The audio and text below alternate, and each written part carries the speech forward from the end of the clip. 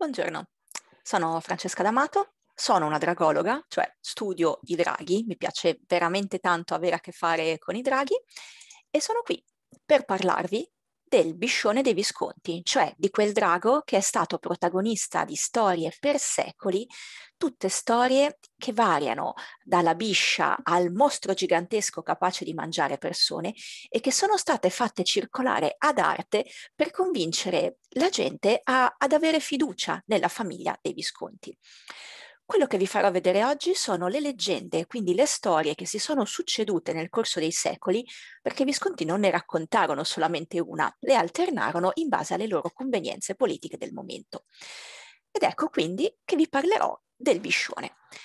Le fonti da cui ho preso tutto questo sono varie, quindi quello che dirò non me lo sono inventato, lo hanno studiato degli storici del calibro di Pastoreau e potete vedere qui alcuni dei libri da cui ho preso. Ma cominciamo a vedere lo stemma dei Visconti. Il blasone si descrive partendo dallo scudo, dal colore di sfondo. E in questo caso ci dice che è d'argento. L'argento è uno dei due metalli, l'altro è l'oro, che fanno parte dei colori a disposizione di chi volesse dipingere e illustrare uno stemma araldico. Oltre ai metalli, l'oro e l'argento, ci sono gli smalti, i colori il rosso, il porpora, l'azzurro, il verde il nero, e questi colori sono scelti apposta per avere un'alta eh, differenza tra di loro, per poter essere messi vicini e per poter avere quindi un forte contrasto. Questo contrasto serviva a riconoscere facilmente lo, lo, lo stemma quando veniva visto da lontano, quindi sia sul campo di battaglia sia durante i tornei. Queste regole eh, sono poi rimaste perché sono ehm, delle regole di accostamento cromatico che ci serviranno eh, in seguito e sono rimaste in uso per secoli proprio perché sono funzionali, perché servono a far riconoscere meglio le figure. Quindi, sfondo d'ar- colorato d'argento, decorato alla biscia, quindi con un serpente, e qui abbiamo un serpente tipico con la testa di cane. È una bestia araldica eh, antichissima. La più antica divinità con testa di cane di cui si ha notizia è Simurg, è una dea persiana, benevola, quindi favorevole all'umanità, e veniva usata nelle bandiere da guerra. Alcune di queste erano delle maniche a vento, quindi dei lunghi tubi di stoffa con una testa di cane. Questa potrebbe essere la vera origine del blasone dei Visconti. I Visconti però non lo sapevano e quindi presero semplicemente un'immagine che derivava dalle incisioni, dai bassorilievi, da quello che loro potevano vedere di antichità romana, perché i romani a loro volta avevano copiato questo tipo di immagine dai, dal, dall'originale persiano. Quindi grande biscia con testa di cane, d'azzurro, quindi colorata d'azzurro, ondeggiante, quindi che si muove come delle onde, che forma col suo corpo come delle onde spostandosi a destra e a sinistra, intorno ad un palo. Il palo è l'asse verticale eh, in basso abbiamo la coda, in alto abbiamo la testa, su cui mh, mm, si vede dipinta la biscia. Ci dice anche che la biscia è ingollante un uomo di carnagione. Ingollante vuol dire che lo prende in bocca, ma che lo prende in bocca non per mangiarlo. Gli animali quando mangiano un'altra preda la ingoiano partendo dalla testa in modo che gambe e braccia entrino partendo dall'attaccatura, quindi dalle spalle e dalle anche, e procedendo poi verso le estremità. Questo è il modo più facile di ingollare un animale per evitare che si dimeni e ovviamente anche per schiacciargli la testa subito per evitare eh, danni all'apparato digerente e, e anche per mettere prima fine alle sofferenze della preda. Il fatto che il biscione di Visconti invece abbia in bocca una figura che entra dai piedi lo fa, eh, mh, ci fa capire che non lo sta mangiando, ma che questa figura quindi non è eh, in vista della sua morte, ma è nascente. Questa è una caratteristica molto importante perché all'inizio il drago dei, dei, Visconti non era un mostro mangiatore di uomini, come ad esempio la tarasca, che infatti ingolla la sua preda partendo dalla testa e lascia sporgere solamente le gambe, ma è un drago che fa nascere, che mm, eh, trasporta senza ferire una figura umana. Dicevamo, l'uomo è di carnagione. Questa scritta di carnagione, in termini araldici, ci dice che il colore della pelle di, con cui va disegnata questa figura umana è il color pelle. Il color pelle non è un colore degli smalti visti prima, il rosso, il porpora, l'azzurro, il verde il nero. È un colore diverso e autorizza eh, l'uso di questo colore al di là delle regole di accostamento cromatico, quindi si poteva disegnare un uomo di carnagione anche sullo sfondo argento bianco e anche vicino ad altri colori.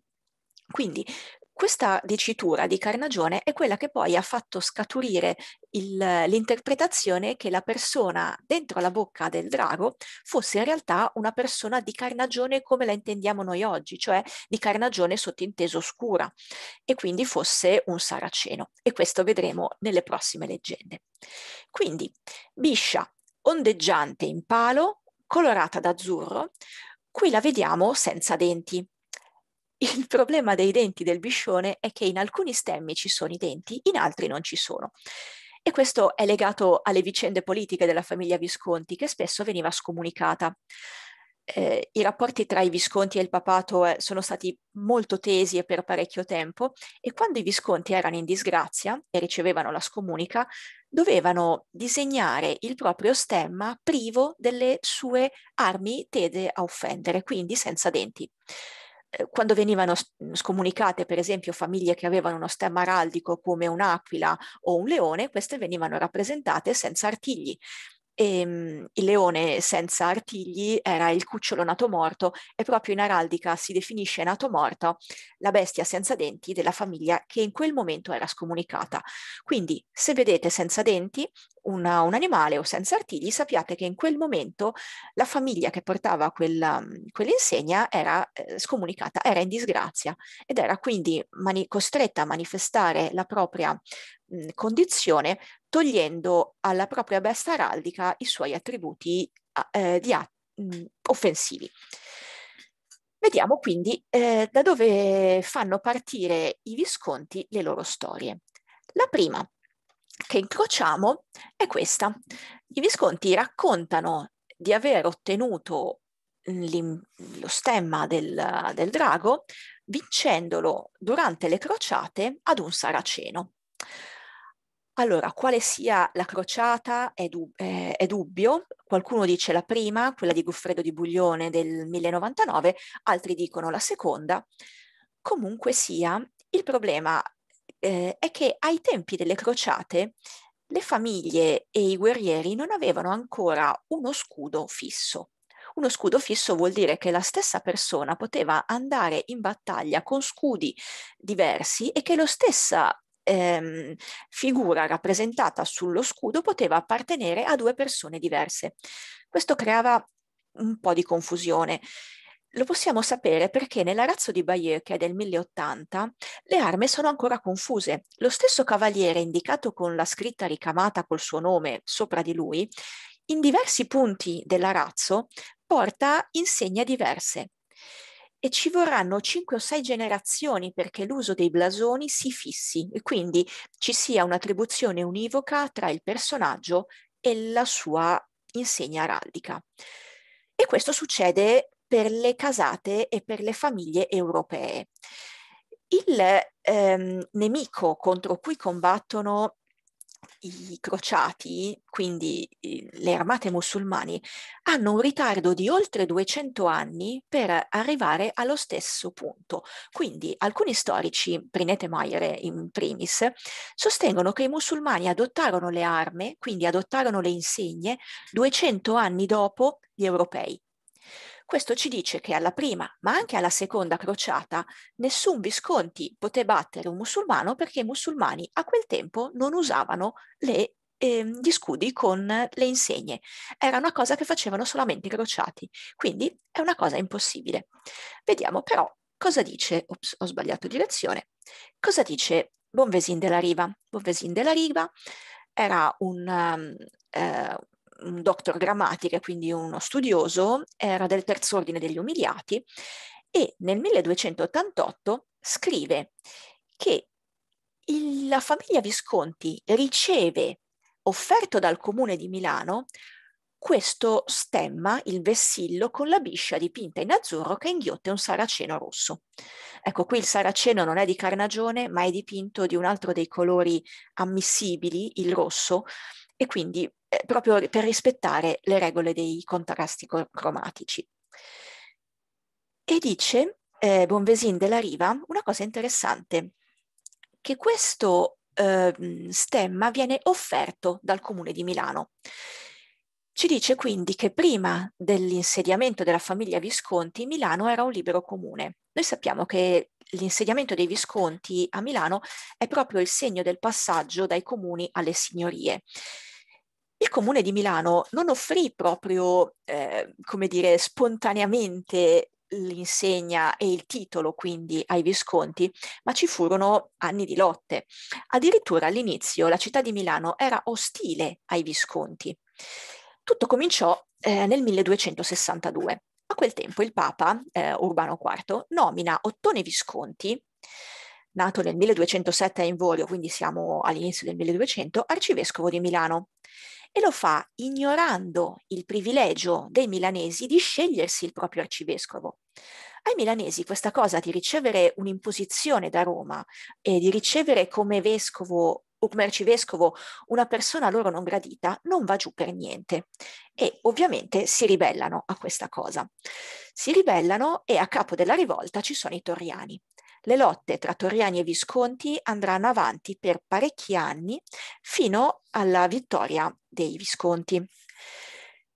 Questa vittoria avviene ehm, nel 1281, quindi sono passati parecchi anni, in, ci furono varie battaglie, una di queste a Vaprio d'Adda avvenne il giorno di San Dionigi. Ricordatevi San Dionigi perché San Dionigi tornerà in una delle prossime leggende che vedremo. E, ehm, quindi il, ehm, il, succo della storia è che Ottone eh, alla fine si insedia, fa nominare suo nipote Matteo capitano del popolo e questa funzione di capitano del popolo, che prima eh, era una funzione temporanea, diventa poi una carica fissa ed ereditaria. Quindi si passa dalla libertà della gente di eleggersi i propri rappresentanti, mh, mm, sia per quanto riguarda le attività civili, sia per quelle religiose, ad una eh, trasmissione ereditaria di queste cariche. Il, um, quindi il, passaggio da comuni a signorie viene raccontato successivamente come una libera scelta del, della gente del comune di Milano, quando in realtà fu la cosa eh, un po' imposta e un pochino più eh, complicata. Ma veniamo a vedere come le leggende raccontate dai Visconti raccontano questa storia. E ho sbagliato di nuovo direzione. Eccoci. Ok. Uberto e il drago. Qui siamo eh, qualche anno dopo, 1330, e abbiamo la cronaca di Galvano Fiamma. Galvano Fiamma ci racconta che un Visconti, questa volta Uberto, libera la città di Milano da un problema, un drago. Un drago che con il suo alito rendeva pestifera, quindi per, faceva ammalare la popolazione. E come fa Uberto a liberare la città da questo drago? Innanzitutto gli va incontro eh, e lo affronta personalmente, quindi non manda degli emissari, non manda dei soldati, ma prende personalmente l'impegno di liberare la città da questo drago. Per prima cosa lo afferra per la barba. Eh, I serpenti non hanno barba, non hanno peli, però per far capire alla gente il sesso di questa bestia, gli è stato attribuito un carattere eh, tipicamente maschile nella specie umana, che è la barba.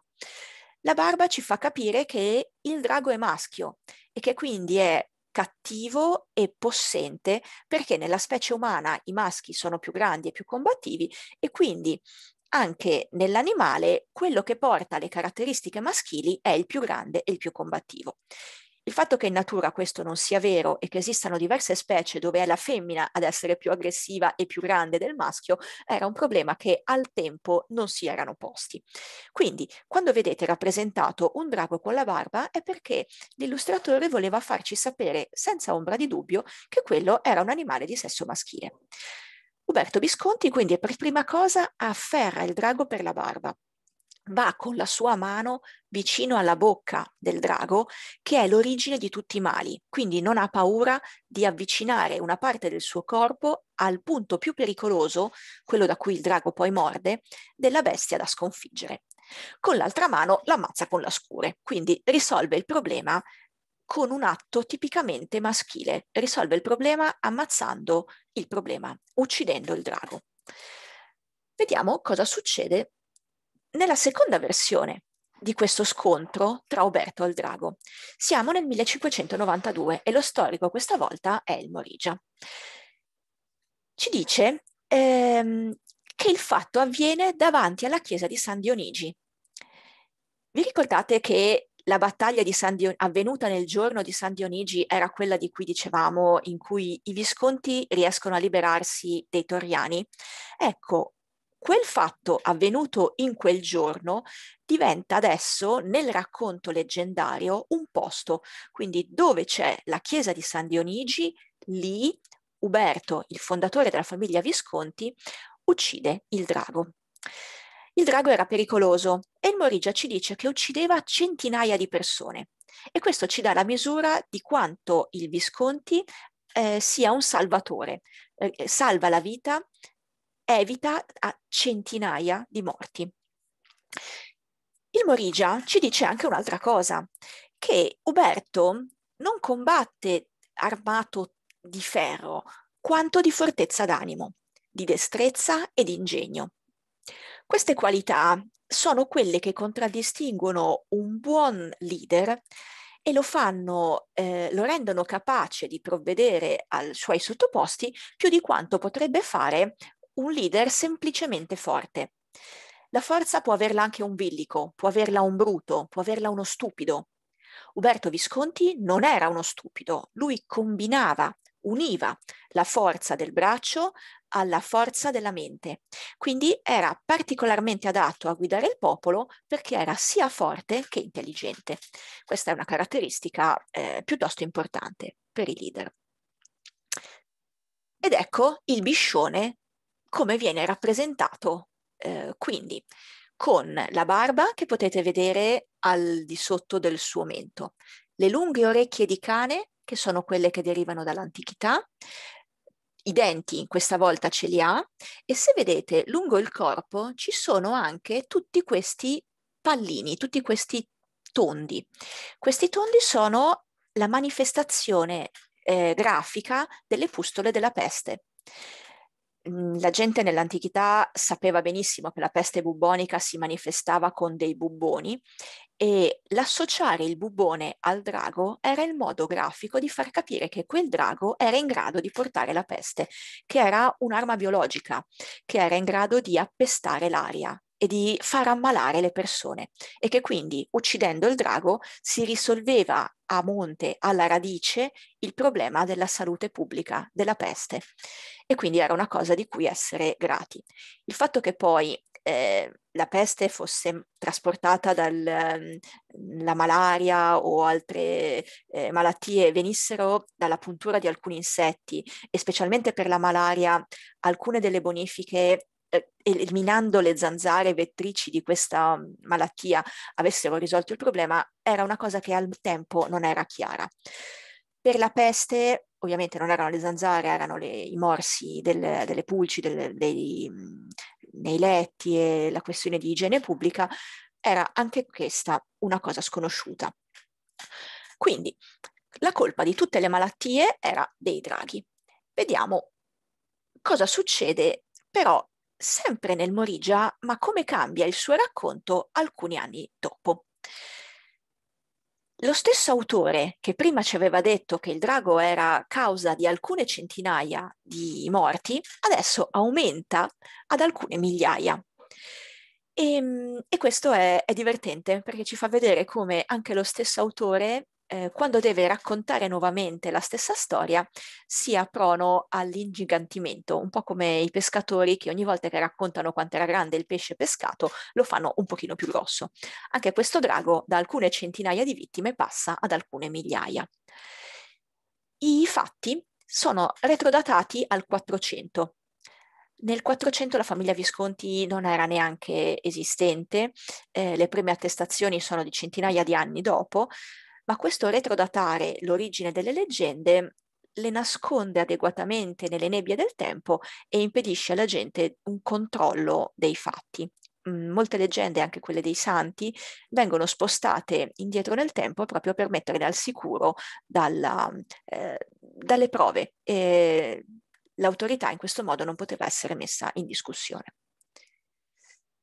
Abbiamo eh, in questo scudo la, la razza viscontea i raggi del sole e il biscione dotato di spine e finalmente dotato della corona. La corona è il segno che potete vedere rappresentato nello stemma dei Visconti solamente dopo che i Visconti si comprarono il titolo nobiliare. La famiglia Visconti non è nobile d'origine, lo diventa quando eh, a suon di fiorini eh, si comprano il titolo di duchi e lo vediamo qui. Si comprano il titolo di duchi nel 1395 da Wenceslao del Lussemburgo. Ora, Wenceslao del Lussemburgo era detto il pigro ed era detto il pigro perché preferiva andare a caccia, mangiare, bere e spendere soldi piuttosto che occuparsi delle faccende che un sovrano avrebbe dovuto, come dire, avere all'ordine del giorno e come priorità nella sua agenda.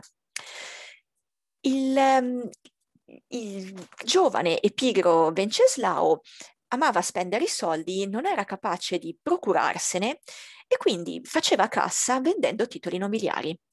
Um, nel 1388, per esempio, vende il titolo di Duca del Lussemburgo, il, suo, a suo cugino Jobs di Moravia e suo cugino che poi eh, col supporto di altri nobili a un certo punto lo prende anche in ostaggio per tre mesi, viene liberato dal fratello, insomma non aveva ottimi rapporti con questo suo cugino, però pur di far cassa a lui come ad altri vende titoli nobiliari. Questo andazzo eh, non è molto gradito a tutti gli altri nobili del regno e ehm, che si vedono circondare di arrivisti e non gradiscono l'operato del, di Venceslao. Venceslao alla fine eh, viene costretto dai suoi pari, cioè non dai suoi pari perché lui teoricamente aveva il titolo più alto di tutti, ma comunque da tutte le persone sensate del suo tempo, eh, a non poter più decidere nulla senza l'approvazione di un consiglio. Venceslao viene commissariato in pratica. E ehm, a dire il vero non fu mai neanche veramente incoronato imperatore del Sacro Romano Impero perché mentre lui era in vita eh, c'era il problema dello scisma d'Occidente, cioè c'erano due papi eh, e quindi era anche formalmente difficile sceglierne uno da invitare alla cerimonia, quindi si rimandò eh, la cosa e quindi Venceslao ufficialmente non fu mai incoronato. Riuscì comunque a vendere il titolo di, di duchi ai, ai Visconti. Insieme alla vendita del titolo, i Visconti ricevettero anche l'obbligo di inquartare il loro stemma con l'aquila imperiale. L'aquila nera su sfondo dorato che si vede è proprio quella eh, dell'impero.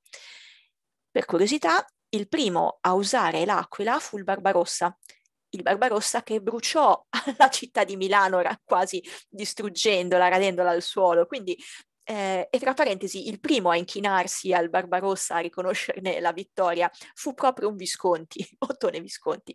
Ma queste eh, sono le, dire, le, le curiosità della storia che i Visconti preferirono non rendere pubbliche. Quello di cui invece eh, volevano parlare era l'antichità nobile della loro famiglia. I Visconti dicevano di venire da Angera. E anche questa è una balla, la proprietà della eh, rocca di Angera era della mensa arcivescovile e ehm, i Visconti la conquistarono più tardi e dissero di venire da Angera perché era un castello un pochino più bello, un pochino più famoso, eh, più, eh, più, glamour rispetto ai eh, borghi da cui ufficialmente, da cui veramente veniva la città.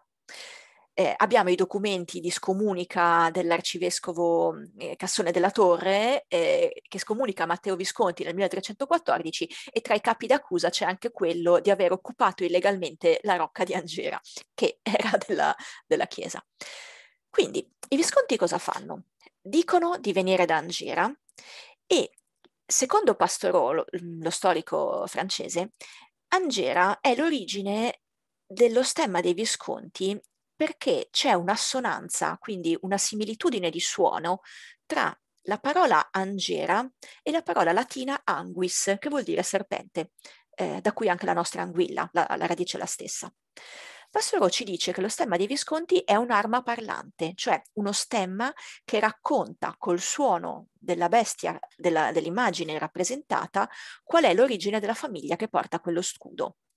Lo scudo con l'anguis è quello della famiglia di Angera, perché Anguis e Angera hanno un suono simile. Questo lo sappiamo noi adesso, i Visconti ovviamente raccontano una storia un pochino più abbellita e raccontano questa. Raccontano di essere discendenti di Enea, Enea è quello al centro, ai lati ha il padre Anchise e il figlioletto Ascanio e qui lo vediamo che presenta la sua famiglia e la sua storia alla regina di Done. Eh, abbiamo quindi un'origine divina e questa origine divina viene raccontata in pompa magna qui. Questa è la genealogia dei Visconti raccontata nell'elogio funebre di Gian Galeazzo. Siamo eh, in uno scritto del 1403 e i Visconti in questo documento dicono di avere origini divine, divine, ma neanche divine nel senso cattolico, divine nel senso classico. Dicono di discendere da Anchise e dal suo matrimonio, niente poco di meno, signori e signori, rullo di tamburi con Venere. Nel disegno in alto, che spero riusciate a vedere, si vede Anchise che sposa Venere infilandole l'anello al dito. Quindi Anchise, un uomo che sottomette, perché il matrimonio eh, non era paritario, addirittura una dea, sottomette Venere. Dal loro matrimonio nasce Enea, dal, da Enea eh, discende Ascanio, Ascanio padre di Anglo, Anglo fondatore, rullo di tamburi, di Angliera, la città di Angera. Ed ecco che i Visconti fanno risalire la propria stirpe direttamente all'antichità classica, quindi celebrano il mito della propria famiglia mh, mm, vantando eh, discendenze divine. Beh, signori, eh, sono stati dei grandi, hanno eh, manifestato questa cosa anche con gli affreschi che si possono vedere alla Rocca di Angera e mh, mhmm, hanno fatto raccontare questa storia in lungo e in largo, eh, vantandosene spudoratamente. Ecco qui, abbiamo ancora nel 1700 che il Carlo Torre, nel ritratto di Milano, ci racconta questa storia. Carlo Torre mescola un pochino tutte le leggende eh, che si erano succedute nel corso dei secoli e ci racconta che in San Dionigi, posto ma che noi sappiamo essere data di battaglia, fu ucciso da Uberto Visconti un drago e mm, sappiamo le storie di questo drago, della sua barba e dalla eh, tenacia e dall'arguzia e dall'intelligenza e amistà forza di Uberto Visconti, che questo drago sconfitto serve a validare la sua attitudine al comando. E mh, mm, sappiamo anche che i Visconti ancora nel 1700 eh, erano ritenuti eh, discendenti del ceppo d'Enea troiano e complimenti ai Visconti perché l'hanno raccontata veramente bene.